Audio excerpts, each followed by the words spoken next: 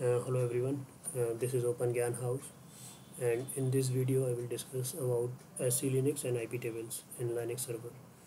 So if you install any fresh uh, Linux operating system in any server, so there might be chances like you are not able to log in into your Linux server or SSH is not working and so you want to disable firewall and SELinux in some time.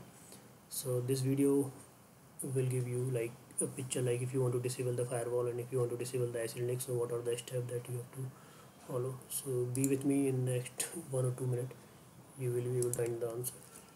So for disabling the SELinux you have to go to the path etc SELinux and here you can find one config file. So you have to vi this file and you have to make the changes like SELinux equal to disabled. And after that you have to save this file and after that you have to reboot your operating system. And once you reboot it uh, so after that you can you check the status using the command sestatus. So I have already made this change that's why Linux is disabled in my operating system. So you can try this and if you want to disable um, the IP tables or firewall so you can use the command systemctl disable IP tables.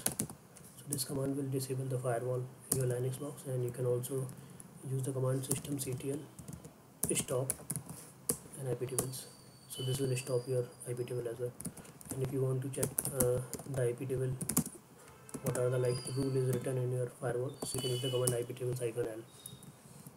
IPTBLS IP tables hyphen L. So this is it about SELinux and IP table. So if you are install any fresh uh, operating system Linux so you might need to disable the SELinux and firewall so guys hope this video useful to you.